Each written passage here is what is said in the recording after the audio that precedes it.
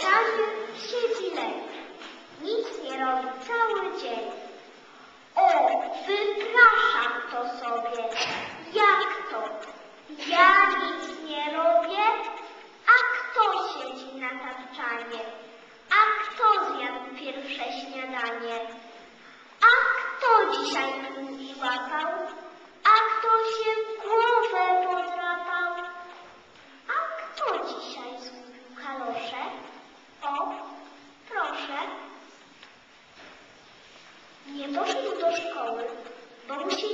chciało.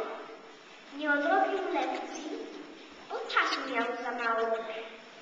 Nie zasznurował trzewików, bo nie miał ochoty. Nie powiedział dzień dobry, bo z tym za dużo roboty. Nie napoił Azorka, bo za daleko jest woda. Nie nakarmił kanarka, bo czasu mu było szkoda. Miał zjeść kolację, ledwo ustami blasnął. Miał położyć się spać, nie zdążył, zasnął. Śniło mu się, że nad czymś ogromnie się trudzi. Tak zmęczył się tym snem, że się obudził.